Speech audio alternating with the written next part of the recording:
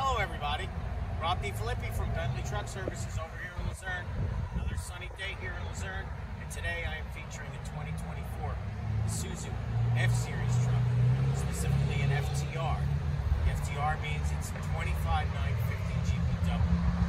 Okay, the truck comes with the Cummins B6.7 liter diesel six-cylinder engine in it, 260 horsepower, 660 foot-pounds of torque.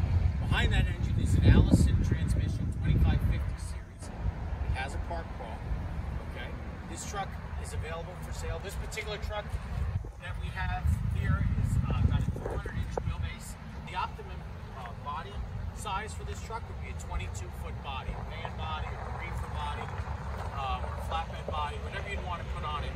Um, the truck comes with a nice twin top frame, so we can basically put any kind of body you'd like to on there. Um, just let me know and I'll get you some body specs and pricing.